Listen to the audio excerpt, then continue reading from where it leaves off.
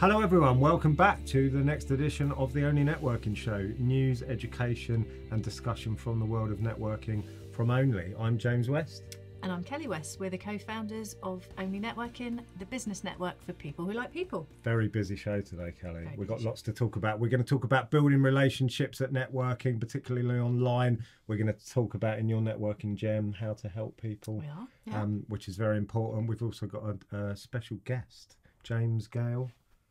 Shogun me? Social, that'll be you. Yeah. Welcome, sir. Thank you very much for having me. I Thanks appreciate for it. coming on the show. We will be bringing you into the conversation later. We've got our spotlight interview. So before we get on to that, we're going to start with some news. Kelly, over to you for some ONLE news. Thank you, James. So, ONLE New York. We've been talking about this for a few months. It is going extremely well.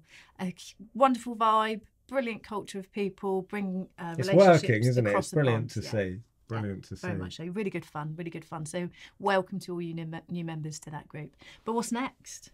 ONLE Manchester is next. So, Manchester, famed for its community spirit, and it's seeing a resurgence at the moment. So, we're really excited to be launching that. And not just because Callum Nicholson's going to be co host with James. So, we do expect energy levels to be high for that group. So, that's what's coming.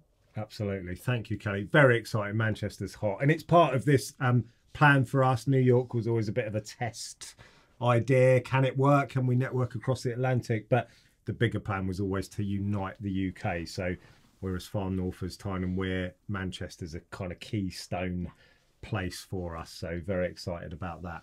Um, so we're going to start off. We're going to talk about building relationships, particularly building relationships online. It's different, isn't it? It definitely is different. Yeah. Um, I've written down some of the wisdom from the ONLE members. Um, this was off the back of our education last month. I shouldn't say last month. Whenever we did it in our timeline, um, Yvonne Garano, we talked about um, building relationships. But here's some of the wisdom that came off of the back of that. Ainsley Chivers, aka the print lady, probably your first mention on the show. Um, this is a great point. She said, We forget to listen to the language that people use. Mm. And this, for me, opens up the question because the thing we hear quite often at online networking, people go, Oh, yeah, but you don't get the body language. True. Discuss what are we missing? I don't necessarily agree with that. Well, yeah. I think you can gauge body language. You can still see what somebody's doing. So why can't you pick up on that body language? You can. I can certainly tell if somebody's awkward or energetic or mm. bored. It's quite easy. I would suggest to see that. It's listening, it's observing, isn't it? I mean, mm. have you had any sort of data? Have you observed this? Not really. I haven't had many problems doing online networking and building relationships, but I think something that can help if you want to be perceived in a certain way, something can help beforehand is to put out content of yourself in a certain way already, whether it be in a TikTok format or a podcast or anything, so people can see your general mannerisms, how you work. Mm. If you paint pictures with your hands, like I tend to do, you know, it's stuff like that that can help a preconception when someone comes to meet you and especially can warm up a, a, a lead because then if you know you're talking to someone they've seen your content before they feel like they've known you it's called parasocial bond it's an existing thing so it's quite interesting We're going to talk about that quite a lot Mm. today because this whole thing about stitching together networking with what you can do online, Mm. we're going to talk about depth of relationships. But yes, very Yeah. good point, James. Um, Robert Brown, the Mac master himself, he made a brilliant point. He said, when it comes to building relationships, it's got to be a two way thing. Mm. I think there's this idea that I've got to build a relationship with everyone that I meet. Why? Mm. And it's a great point mm. from Robert, isn't it? What what is the relationship that's appropriate for that particular interaction? Yeah. Because they might not want a relationship, they just might want a transaction. So I thought that was a fantastic point, Robert. Um, well said. I've got two comments from two other members which are connected. Tracy Shrimpton, she said, it's easy to build relationships at a superficial level, mm. but building trust is key. So that's step one. Sam Cush said, I will read this out verbatim. Um, it used to be hard to get time with people. So he's talking about in person networking and kind of the mm. old mm. way of doing it. Used to be hard to get time with people, but once you got into the conversation, easier to build deeper connections. He said it's now the other way round. Getting time in front of people is dead easy. Yeah. The abundance of online networking, LinkedIn, I can go on and I can meet and talk to hundreds of people in a day if I'm so inclined. The time bit's easy, the depth of connection is harder. Yeah. I, I, I would, all I would uh, sort of um, consider there is is it harder or does it mean you just have to put in more effort with that bit? You will have a take on this, I'd imagine. Yeah, of course, definitely. He makes a really good point. Actually, we talked about this before, didn't we? This is a bit like the equivalent of going into a room and just scattergunning your business cards. You can have 20 one to ones in a day if you want to. Hmm. But do you choose to push that on any further? That's kind of my equivalent now of passing out the business cards. I'll have a Zoom with most people I meet just to see if I like them, which I wouldn't have done before Yeah. because we're in a different environment. But you don't have to build next level with everyone, do you? No. but you do i think the way we've evolved now we have to have that initial conversation in order to know whether we want to put it any further Yeah. And it, but it's the depth, isn't it? And this is what you're talking about. Mm. That the depth, where did that used to come from? It was the two hour one to one over coffee. It was the bit when you sat next to someone at a networking event that you didn't really think you had a connection with. Mm. And then it turns out, oh, I actually really like this person. Yeah. Uh, For me, it's the online piece that you can use to stitch that together. Mm. What's your take on that?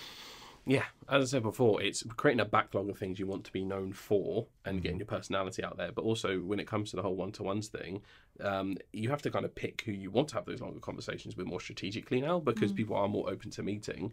Um, and you have to give away way more than you think you should. I think there's there's still plenty of businesses out there who think they still hold some kind of industry secret that they're holding back and they do not want people to know. Throw that out the window and give everything up front for free because you like it's not like someone can run away and steal your business idea straight away.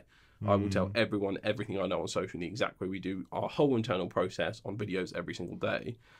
Is anyone stolen it, run away with it? No.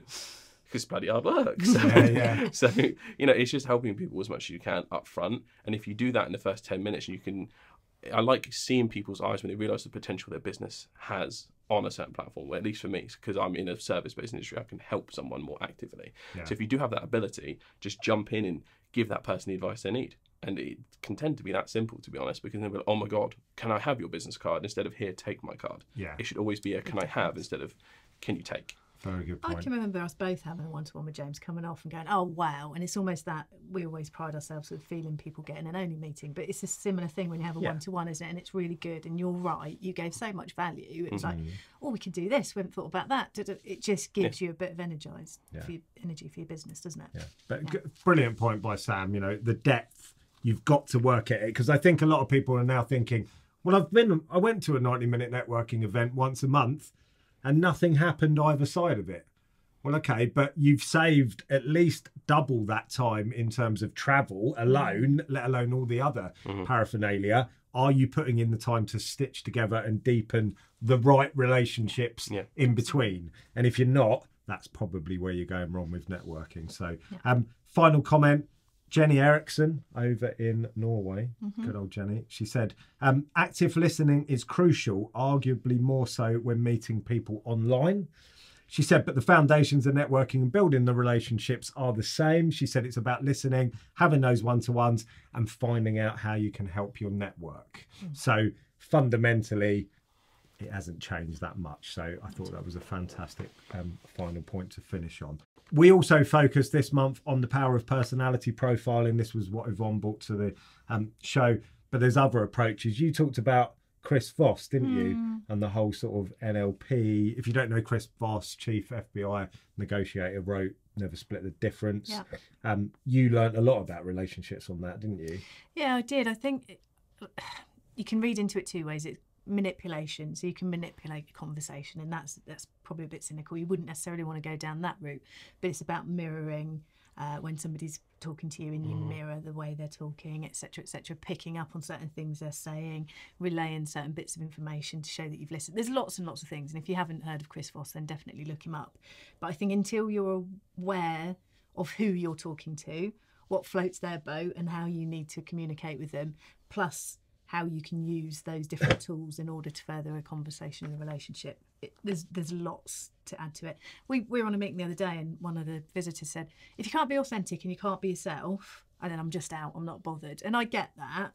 I do get that. But when you're a mm. business owner and you're one person in thousands in your industry, you do have to pull out all the stops and you do have to look at how you can build these stronger, better relationships. So you Yeah. do need to be more aware of your clients. Well, that was really the main takeaway from that education is that given that relationships are important or good relationship building is central to so many aspects of business, networking is the obvious one. Social media is increasingly about interaction.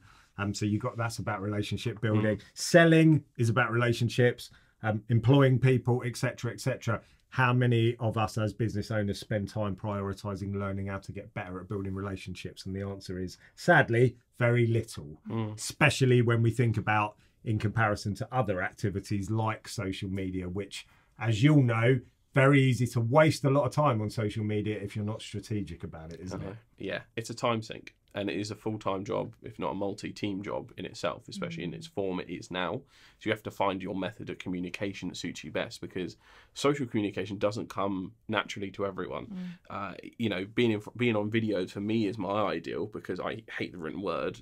Like, I don't, it takes me way too long to write and I'm dyslexic as all heck, so I'm not going to do it. Uh, And graphic design isn't my forte either. So I have to rely on my communication skills verbally and painting a picture with what I can tell people. And I find that some things you need you need to get in a good flow. So podcasting, again, a conversation between two people, you get a much better flow, so you'll be more natural. Best way to start if you're jumping into video for the first time, uh, especially video podcast, ideally, or vodcast, as it's now emerging as a particular term. Um, or doing things like I record the best parts of my meeting. So I'll stick a camera on me, I'll record my audio separately, and I'll catch it when I have a good moment. You know, when you're in that good flow and you're like, oh, I said something amazing there. um, you actually finally have it captured and you can clip that as a soundbite. And now people can see what it's like to have a one to one with you. So we extend that. It's almost like you see a, a, you know an event you're going to go to next year and you see what it was like last year. Oh, I really want to be a part of that. It's the same effect you can do on a micro level for yourself. So yeah, again, it's extending those trust things, finding out how you communicate, and just trialing different things over and over. Even as hey, let's get ready with work with for, with me, you know, one of those TikTok style things. However you communicate, try lots of different things over and over again. Test, test, test, and you'll get there. You'll find something. We need camera crews just following us around. It's something, Gary Vaynerchuk does that, doesn't he? Yeah, and- Literally everything he does is is Yeah. filmed, isn't it? and the Goat Agency. If anyone hasn't hasn't heard of them, they're one of the biggest influencer marketing agencies in the world. They invested very early doors on a, I think it's a daily or a weekly vo- uh, vlog, and now I know all the different characters inside their office. I know exactly what they're good at, and they just do that always. And they've invested hundreds of thousands in it, and it's paid off massively because they are the influencer marketing agency, What are they called? The Goat Agency. So literally, Matt, you know, one of them ones, just in case. There's a clip there, isn't there? The Yeah, there of go. Well, have a look at that and have a look at Gary Vaynerchuk. If you don't, Yes. if anyone doesn't follow him, um, you'll learn a lot from Gary. Mm. He's a bit marmite, isn't he? Oh, he's, he's funny though. He is funny. He means well. He, he said the same thing over the last 10 years, mainly because no one's still doing it yet. Yes. So, you, you know, you will get value out of it probably in the first month, and then you'll just hear the same thing over and over, but you will get an extreme, a, a good amount of perspective from it, as he likes to say. To do it right. Fantastic. Okay. Well, it's time. Next part of the show, Kelly's networking gem. Yeah. Over to you, That's Kelly. me. That'll be me. So, we talked about this. We've talked about this a lot, actually. Well, I particularly have with uh, particularly new members to ONLE or people that are new to networking. How can you help others? I think this this has been an ongoing conversation, as I've just said. So, when you're looking to go into a network or you're part of a network, I think there's that sudden realization of I'm not helping anyone. How can I help anyone? I've It's no money typically, I've got no money, isn't it? Yeah. yeah, I've got no money to spend, or I'm reluctant to spend money because I've yet to build the relationships and I need to, to know these people a little bit better.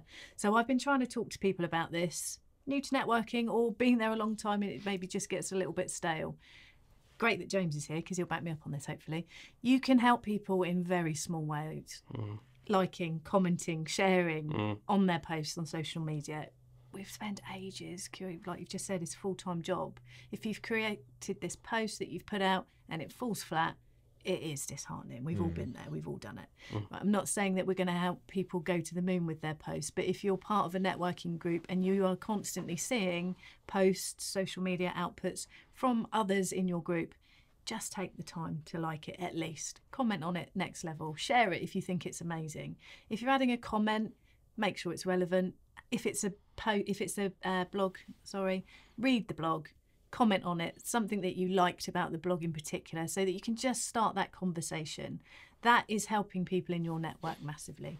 Similarly, if people have got events on that they want to share, that's an easy one to share with people, particularly if it's something that's close to your heart. So I think the key message here is don't go into a network thinking, I've got to buy from that person, that person, that person, that, that. And that's great. If it's relevant to you, then of course do it. But just go back, simple steps, and just help people in terms of what can you do in order to further their stuff. It's a great tip. We try and come off of every one to one, every interaction.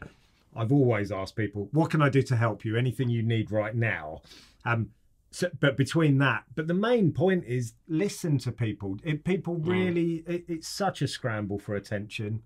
Yep. So many times in networking, you're speaking to someone that you, it, their eyes are glazed over because they're just waiting to tell you about them. Mm. So if you want to do something for free to make people feel good and remember you, make them feel good by listening to them. And we talk about this as in banking credits, Yes. your connections. So you know, if you if you can put everything to one side, you can go into a one to one, be it twenty minutes, half an hour, and just give that person half an hour of your time, uninterrupted, not looking at the clock, not checking my emails.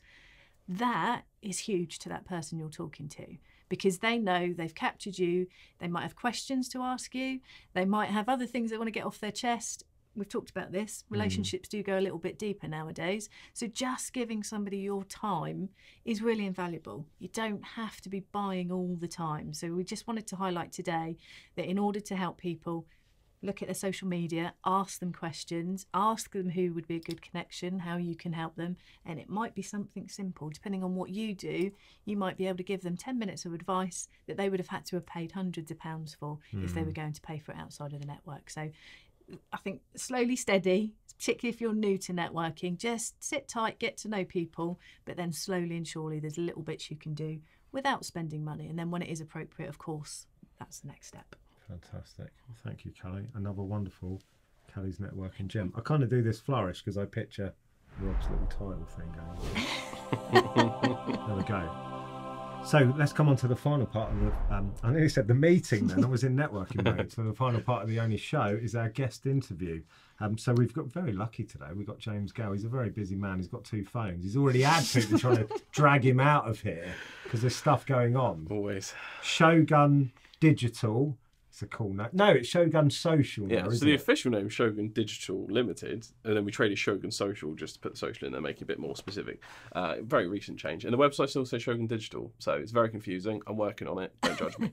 Uh, yeah, I, I let myself off then. That's why I wasn't sure, and I've written both. But anyway, I've got a little formal bio that I wrote with my own hand, which I'm going to read out. James is leading the next generation of bold and ambitious business owners, helping businesses tackle one of their biggest challenges social media marketing. Combining his advertising and agency background with a keen observational eye, James helps clients utilize the latest tech while recognise the importance of having a business focus at all times. Very important that bit. He's also a fan of NBA basketball, so that is likely to comprise the majority of this interview. I thought I'd throw that in there because we both like NBA. Um, tell us about Shogun Social. What's the story? When did it come about? What's your mission?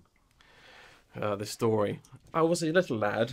Um, no, uh, so uh, I was in advertising, you know, about three or four years before I started Shogun in the first place. And you know, I worked with big brands like you know, B and Q, HSBC, Samsung, EE, stuff like that. Um, and even with some small and medium sized businesses as well, which was in the last agency I worked in. But no matter where I went or size of business I work with, there seemed to be this weird little gap that no one's really using social the way it's intended to be used. And I always found it really odd. Uh, so, you know, when I was in my last agency, What is that? What? How should it be used? Well, to post like creators, because you'll have the same board members that say social media's not worth our time. After they finish the meeting, they'll go and open their phone What- and they'll go and like something that someone's made for free. So they're consumers of content. They are consumers and then also denies that their business needs it. It is a constant paradox that we're in, uh, but it's mainly because it's a massive investment um, that doesn't bring immediate ROI like it would in performance marketing, but it has massive dividends. I think beyond performance marketing if you do it correctly. Um, but you know, I, I observed that constantly. so when was this roughly? Give us This a timeline. well, this was a well, I'd say we, the business is only a year and seven months old, so it's Wow. yeah, so about a year and seven months ago, um, I, I kind of looked at that and went, there's such a gap here for someone to just step in and really help with the organic content, the stuff you post every day, the stuff in the trenches that matters to your audience, to your customers, and everything else. Because before the pandemic, it used to be, you know, I'll post maybe once, twice, maybe three times a week if you're lucky. It'll just be about the business itself, completely unengaging, completely useless. It never did anything, so therefore people just posted to keep up with the Joneses. That's Yeah. it's just I'll keep it alive just to show the business is functioning. That was the only the only method of it. When there's so much more potential housed in how we can use organic social that it takes it takes people to the moon every single day. Normal everyday people that are outperforming companies tenfold, who hmm. have all the resources and the knowledge and the master's degrees and all the rest. And it's almost like we're almost failing to see what's in front of us, just to post a bit more human. And over the pandemic specifically, there was this massive gap between companies and people, especially now work from home culture and TikTok, especially, uh, kind of brought it in and went. I'm so sick of corporations. I'm so sick of having to do things. I'm working from home now on my own time. I'm having to put up with this global pandemic anyway. so why why should I? Why should I like this random piece of crap that you're putting out? Um, why should I engage with it? So I'm not. And then everything over the over the pandemic changed and TikTok TikTok's rise came from the fact that that platform is ridiculously authentic. People gravitated towards it like moth to a flame. And it's still going now. So to give you some perspective on TikTok, it's at 1.2 billion users average now. Oh, Instagram's at 1.7. So it's solidly at t- number three. It's past Twitter, it's past LinkedIn, it's past Pinterest. Hmm. If you're not taking it seriously now, we might be in a bit of a pickle. Um, so I presumably Facebook still leads that. it does. It's not using it in the way it's meant to be? people are on there, but Yeah. heart's not in Facebook. I don't see anymore. No, I. Uh, for me, it's it's a platform that's it's it's in its last phase, should we say? There's a reason they're investing in the metaverse and not investing back in Facebook. There's a reason they haven't come out with an original feature in the last five years and just copied others. They don't care. Their mm. next investment is the metaverse. Yeah. So even the company itself knows it's on its last legs. But you know, it, it, I just don't like Facebook too much, in particularly because if you wanted to start a business today and you had no budget, a Facebook page is the worst thing to set up. you will not get anywhere. So to put, give you some perspective, we have around 715 followers on our LinkedIn, we have around 400 something followers on our Instagram, and we've posted the same content to those two platforms as we have Facebook. Facebook is on the same 63 people I invited from my friends list when I first started a year and seven months ago. this is a joke. Yeah. And I'm not paying them a penny because they can get stuffed. Yeah. not a chance. Um, Whoa. Whoa. sorry, sorry. No, absolutely don't blame you. And I think that stuff needs to be said. I'm just, let's go back to, so that's incredibly quickly how you, Yeah. it's obviously validated what you're doing, that there is a demand for it. Mm. We were talking before the show about how few dedicated social media agencies Mm. are around. That's crazy given, Mm. I mean, you'll, you'll probably agree with this. I think for business owners, the disproportionate headspace that social media takes, Mhm. it's probably people won't like to admit this, but in terms of how long people spend thinking about it, learning how to improve it, Mhm. I would say social media is the biggest small business priority. Yeah. Yet, you said there's barely any agencies dedicated to it. Why is that? Uh, it's hard to justify the return on investment from organic content. Okay. It's taken us until I said a year and three months in to get solid organic leads coming through to even my personal profile, the company profile, Yeah. after putting out so much original content and shared content, having a full strategy behind it. Hmm. Now you say that to any company that obviously doesn't even have our knowledge yet, so that's how we that's accelerated in my opinion for how, Hmm. how quickly that could have gone. It's not like we've gone viral at any point. It's all just kind of particular good pieces have done well. Um, so you look at a business and go, yeah, for the next one to two years, you're going to have to post without expecting anything back and invest X amount of money in it. Ready? And they go, "Ah." um, so it, it's just it's a necessary evil, but we overthink it a lot, and this is why our whole business ethos is you need to post like a creator because it's not like they have crazy budgets to do anything; they're doing it all the free way, and you know when you can get hundreds of thousands of, of views and you know people really giving you business feedback, and especially if you're building a, a tech business, that consumer feedback to put into your platform it, that's invaluable. People pay hundreds for survey companies to find out this information when you could get it via your own comments if you just put the legwork in. Uh, and it is the legwork. We just now finally have to accept we cannot buy ourselves an audience anymore. We have to earn it. And we, we all know it deep down in here somewhere, but there's just tends to be a lot of personal psychology that comes into the world of social media because it's hard to justify I don't want to put myself out there. There's lots of different things that go into it, and it becomes a personal thing. So people will procrastinate over it, and I completely understand. It takes a while to push through that, but once you get there, you're in a very good place. It's a flip, isn't it? I'm I'm going to steer you away from that purely because that is our topic of ONLE talks. Think like a content creator. So Yes. um, if you're watching this and you want to get that information, that's part of Mm. um, uh, an ONLE membership benefit. But Yeah. um, let's. T- there's still loads more that we can cover in Mm. terms of so. Tell us about this because you've grown very quickly. Yes. How big's your agency, and what's the pro- what's the plan for the future? So there's four of us now, but we're hiring for three more. Um, so. And yeah, that's been in, in the year year and seven months. So that's been kind of wild, but it, it's good. It's just it's a, we need talented people on seats. That that's that's the main thing. So I'm very particular on who we hire and the people we work with as well. Yeah. We're not the type of agency that goes, if you want to outsource your socials to us, we'll take it. Absolutely not. The door's there. You need to be heavily involved in the process because it needs to feel like an agency hasn't touched your content. That's interesting. Um, but yeah, it, it has to be it has to come from you. You have to really care about it because it reflects directly in your brand. It's very interesting, and it's been working with the likes, you know, Barclays, Barclays Eagle Labs, um, South City Council, and the 2025 Bid for Culture team, uh, because they've all been struggling with this human connection piece. And it's for us, our specialty has become helping people. And companies specifically find their voice and their uniqueness in amongst the organic content and helping them realize the strategy they need. And just doing that simply, we've added pieces and from you know me just being in my bedroom on Fiverr, getting a few clients, uh, and then just starting it to, to this. So it's pretty wild how, how quickly it's grown. But Where are you going to get to? where are we going to get to? Um, so I'm minimum kind of ten staff by end of year, I think, Wow. um, just from where I'm, where I'm thinking of, of being. Um, and you know, we're looking to secure at least another four or five clients in the next three to four months, I'd say. So, it, but then it's about fulfilling that quality, make sure we really build those long term relationships going forward, and just make some cracking content. I'm really on the lookout for people who are extremely talented, who have a good eye for it, and specifically a good eye for TikTok because it's such a new thing that if you come from a traditional marketing background, you're not going to have the skill sets, even if you're if, if your boss says make us a few TikToks. It's actually more looking at working with people who have more of a creator mindset instead of a marketing mindset. That's kind of my job to talk both languages and bring what is the corporate world into the creator world, and so you can benefit from both and have a team that thinks like creators first. So Congratulations! I mean, Thank that's you. incredible, Huge isn't it? To congratulations, get to get to that level that quickly. So, thank you. um, yeah, definitely. Um, let's talk about. Oh, here's here's a question: authentic social media. Mm. I think this is one of those really misunderstood Talk things because people say buzzword, authentic. They actually mean, oh, I'm going to do what I think people want to see, which Yeah. is actually the opposite of authentic. Mm. What does it mean to you on social media? It, it's tricky because it almost doesn't matter what it means to me. It matters what it means to each and every individual. Okay. So, you know, the way I tackle it is I show my day to day workings as transparently as possible. So, sharing behind the scenes of, of my meetings to get the good bits so people can get a value out of it as well. The same as the person or the client I was, I was, I was talking to, that can really help.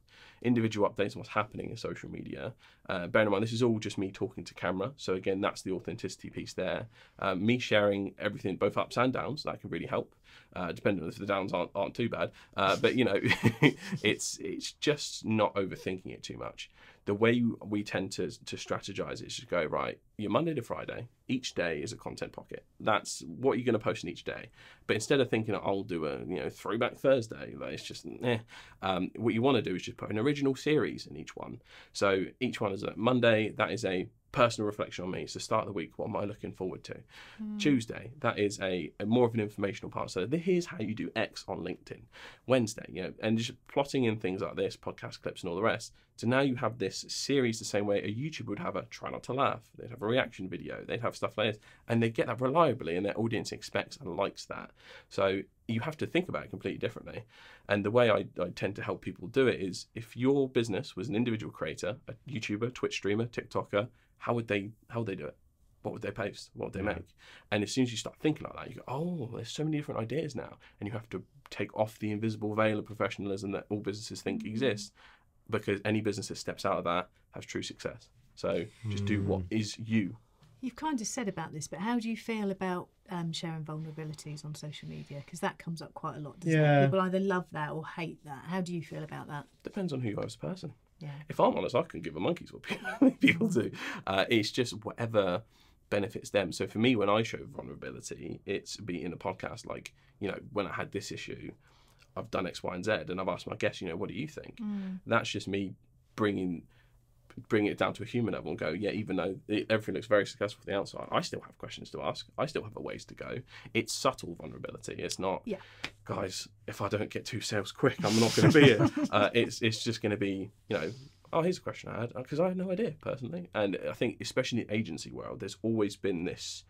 We have to be completely perfect and know everything at all times, so we instill trust in our clients.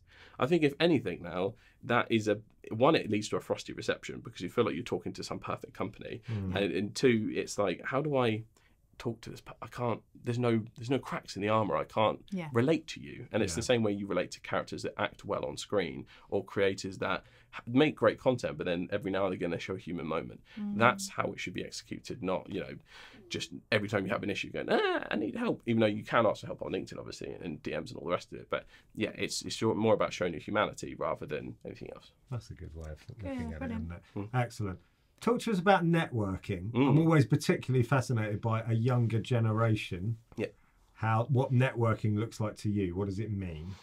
Well, our business was a pandemic baby, so I, my networking experience is only well, I I have physical ones as well, but it started as purely online. So for me, I was trying to treat them like I would have treated my individual sales calls, and I went into it with the mindset of this being a diagnostic for whoever I'm talking to instead of anything else. So this is why I immediately let out the gate. Well, I'm not going to get nowhere by just hard selling to people. Yeah. So I went, okay, let me listen for keywords. Let me, like we talked about active listening, let me go in and think, I'm just going to help this person. I'm not even going to think about myself at all. Hmm. Because once you give all that value up front and go, listen, I heard you had this problem. I hear you when you say this. Make them feel heard, first of all, and start there. And you go, you know, when I look at your page, I see X, Y, and Z. Obviously, this is easier for me because I'm a service based. This is what I do every day. Um, and then afterwards, they're like, oh my God, I have a whole page of notes. Thank you so much. Yeah. Tell me about you. And then they're really eager to get into the stuff that you have. And it's like, well, actually, it seems like we're kind of a perfect fit. And it just rolls n- into you nicely. And this is why I say record some of your behind the scenes meetings, things like that. Because as long as you're not saying anything specific, if you get some content out of your networking, it is not a waste of time to be given this information for free. Mm. Now I always get a golden nugget out of each thing, so I'm getting it. It's a win-win. I make a mm. good connection, and I get something for myself to post out to show of how human I am and how much I want to help people. Yeah. So I would do it as a double-edged sword, but always going as a bit of a business diagnostic. It's tend to work for me all the time. That's a great That's way of looking at it. Yeah. Mm. So, because Steven Bartlett said recently, don't network. What a man! Yeah, And his, I have a bit of an issue with it because he said don't network, but he didn't say in brackets network differently because he said I don't see the point in walking around a room handing out business cards. So what he's saying is that traditional yeah way, it's old, old school. weekly networking. Um, but what you do to actually network is build a brand Mm. online, interact online, which is where we sit. We, s- I'd still call that networking. Hmm. Yeah. So, ha, does that resonate with you? Are you in that space? That's why I, I digitally extend my networking by capturing those moments and putting out information that I would have told in networking anyway. Um, because then it can work harder and longer for you. So the life cycle on a piece of content on LinkedIn is like two weeks. I still get likes on stuff that I posted well, quite a while ago. So when you think about it in that way, instead of one hour and a half session, you can make something in that session last longer. So then you find your best bits. I will say there's always a place for networking. He Bartlett has a very unique journey of he built creator focused pages and leveraged them to bring brands into the world of existing trust and and kind of like almost brand wealth in the way that they got that reach right? That is a very unique way to start a social business. So he wouldn't have had to do the networking that a lot of us have to do in different industries. Yeah. so i understand he will never see the perspective of other industries in that way. Um, but yeah try and digitally extend it because that's his point. He was like you can network by just putting yourself on video. Yes. it has the same effect. Yeah. whereas you might as well do both because some actually bring some immediate return especially when the business is in its younger stages because he has such a unique journey he was never there so i understand why he has that perspective Yeah. but it does need to be tweaked for a wider audience But he's right, isn't he? And I mean, he famously does still interact with his audience on social media by replying to comments and actually getting into dialogue. he does have a whole team that does it now Yeah. But for me, that's networking. Yeah. That I would call that networking. You're just doing it in a smarter mm. way, aren't you? Yeah, and I think a, a lot of people miss out on their content. And if it's you guys at home, whenever you have finish out your content, put you know what do you think? Mm. Comment below, let me know. Stuff the classic stuff we see YouTubers do. Include it in your in your way of doing things. Because you mm. open up the floor to comment. Because otherwise you may get a bunch of likes on stuff. You see it quite a lot. Things will get a bunch of likes and a bunch of reach, but no comments. You're like, mm. why? The community does not feel welcome to include on this. Maybe because you do have such a perfect persona, or maybe because until that point you've never asked before. A call to action is obviously as effective as we know. It's like you ask, you get often. So mm. ask them to comment. Obviously, this is where the ONLE Network can help because you know start off by adding those comments into. It's almost like when you're the first one to turn up to a party. You never want to be the first one to comment. but if there's existing comments out there, it really helps. So yeah, just ask your community to comment on stuff, even if it's a written post, if it's a graphic post, if it's you just saying, "Listen, I need your opinion. Just let me know down below." That can change the game for how you then get interacted with online, because more interaction down there is an extension of that networking you would have done online. I like that. And I do think there's a bit of bravery needed there, isn't there? Because some people There don't is. actually want to hear the answers. They kind of want to output it, but don't necessarily want to engage in It that is part. conversation. It is part and parcel of social. Unfortunately, yeah. um, you're not doing something right unless someone's hating on you. exactly. um, and the the phrase, especially when I, because obviously I get nervous about it as well sometimes, uh, because I my LinkedIn previously before I started pushing out all this was like everyone I worked with in my professional marketing career who all were way more experienced than me. So me starting this business out of the blue, it was like, oh, what are they going to think? Mm. Because I was always their junior, so it was going to be very strange. But I had to just go, I must do what others aren't willing to to succeed Yeah. uh, and you have to give yourself the old YouTube motivational speech Yeah. uh, because then if you you know if especially if you're in a competitive field if you are the one that steps out and creates a podcast if you are the one that doubles down on TikTok you are now the one in that space and it will pay off for you but you have to realize that it does take a long time it will not be a couple of videos Yeah, it's not a cheat, is it? Someone said to me the other day, "Do you reply to all of your comments on your post on mm. LinkedIn?" Yeah. Doesn't that take a long time? Yeah. Mm. It really does, but that's why you see my content actually does something, mm-hmm. and I get into conversations with people, which leads to people coming to my network. yes If, if you're not willing to, because we've literally had people say?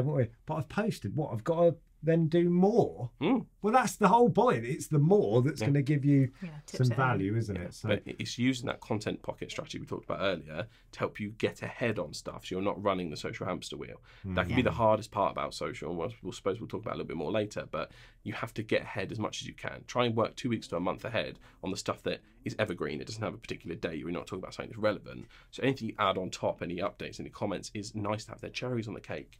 So and it, it just helps your workflow because otherwise you just drown in the amount you could do. Yeah. because every single business listening to this will have infinite potential to go balls to the wall crazy on any idea they want that could really change the, how they operate and how people see their brand. But the time it takes to do that, it can be a time sink. So you must implement a workflow to assist on you beginning this journey to cultivate a community. It's good. So, ONLE as an online network, Mm. presumably you're really comfortable with that. It doesn't really need an explanation. So, the the scale of what we're doing, so London, Manchester, things like that, does that just make sense to you? New Mm. Yeah. York? Absolutely. Obviously, being a pandemic business, I have a bit of a unique perspective on the fact that uh, the the good thing about it is, even though it was horrible, is the fact that it has opened up the world. And even though it opens up the world, just like with infinite scope on social, there's infinite scope to go to any region at any time to target any particular niche. And it's like, oh my god, where do I start? Yeah. And sometimes it can just be best to start in like, like in places like ONLE because at least I I know even little colloquialism how people talk from different areas, how mm. how they interact with people, what's the energy like? Because you can help you figure out how you're going to talk to your next person from the area. And obviously, you wouldn't have got exposure to those people without being part of those networks and get those learnings. Um, it, it's invaluable to have a place where you can start there and almost infiltrate different areas if you want to. Be known as many places as you can. I'd highly recommend it for a business that doesn't have any regional lock. It's it's incredible. Mm. Local, the, the local thing we found it is still important because people Mm. like the option of saying, "What if I do want to go and have a coffee?" Yeah, then it it's nice. makes sense to Yeah. be in the local uh, location. But then, like you say, you can go and wander Mm. when you're confident. It's a common, common um, Bit of thing, commonality, isn't isn't it? it? Yeah, a bit of Yeah. Mm. does make sense. Final question, and the one that I'm most interested in, of course. Mm-hmm. Basket NBA basketball Mount Rushmore. So, what are the four faces on Mount Rushmore of NBA? By the way, relevant to probably less than one percent of our audience. but I don't care. It's our show. Okay. All right, this is an impossible question. And here come the hate comments, all right? We're going to clip this and we'll see what, what we get. Michael Jordan, definitely. Obviously, considered the greatest of all time. LeBron James, absolute genetic freak, still playing. I don't know how. He must be about 100 right now. Um, this one might annoy people. Steph Curry, Yeah, I, I cannot ignore how he's changed the game. he has changed the game of NBA completely, and there's not many players that have done that. And for personal reasons, Kobe Bryant. Yeah, Though those are my. It's more how they make me feel players Rushmore instead of their actual playing performance. Obviously, Michael's always going to be up there, yeah. but yeah, especially Kobe. Obviously, eh, just one of my life's biggest inspirations. I think uh, I, I do need to actually get his book, The Mamba Mentality. It's one that's been on my list forever that I have not have not got yet. But yeah, just his his work ethic is something that is just impossible to many other people. Um, and yeah, he's an inspiration every day. And I keep him at the end of each and every one of my sales decks. He's in a picture of it. So yeah, That's cool. Yeah. I always say about Kobe, don't You I? do. When I'm getting when I'm a bit down and I think, what would Kobe what do? would the Mamba do? Yeah. Mm. Like that whole thing about the ice baths, and he he talks about falling in love with the process. Mm. So even the worst bits, that's part of your journey. Yep. And when you learn to embrace that, that makes you Yeah. Because he wasn't the most talented out of the box. No. But he- no one worked harder than him, and that's inspiring, isn't it? Yeah. What's your So who's your for? well, very similar. Yeah. I, I couldn't have Kobe on there because there's just four others that, but he's fifth. Um, so it is Michael because Mm. that's who I grew up watching. But then I also grew up in the Bird and Magic era, Oh no. oh yeah. and they were just geniuses, the pair of them. And then LeBron. Those was two the saved fourth. the NBA. People forget. Um, yeah. Sorry. But I'm older, so I'm always Mm. going to have a slightly different. But I don't disagree with what you're saying. And Steph Curry, Mm, I'm not his biggest fan, but wow. yeah. His, Yeah. his his effects are undeniable on the game. You've got centres now shooting threes because of him. It's Oddest thing. I never thought I'd see the day, but there you go. We'll Yeah. have to end it there. Yeah. We have to. That's a good selection. You're though. not Well asking me mine. What's yours? Uh, JJ Redick. JJ Redick because she for fancies facial. him. Eternal six man. Yeah. I don't know if he's any good at basketball, but he's quite nice to watch. Shaq. Shaq's Hilarious. Shaq just. Yeah. Yeah. Hilarious. He would be in the top ten. As he Oh, yeah. just, Definitely. I mean, his another one that changed the influence. game. yeah, James Harden. Purely because he's Mm. the only one who I always remember his name. Mm, yeah. And beard. I recognise his beard. I can't think of anyone else. Fair enough. Not bad It's all right though, knowledge, isn't it? It's Mm. okay. is it? To be fair, we don't agree with any of them. Quite impressed myself. I saw honest. Shaq play live in the first time they ever played an NBA game outside of the states, London. Atlanta Hawks, Dominique Wilkins. Penny's first season with Shaq saw him live. Oh. Beat that. Uh, yeah, I She's can't- been to more NBA games than you have. Yeah. I ain't been to a single one. I've even seen what's his name? Oh, this is a different sport. I know, but Tom Brady. Tom Brady. I went- Wow. I've You've seen the greatest of all time. Yeah. Fair play. Yeah. All right. Not that it meant anything to me, but there you go. Anyway, on that note, Let's wrap up. it's the best bit, isn't it? Thank you for watching and listening and sticking with us. This has been the ONLE Networking Show. We'll see you again next time.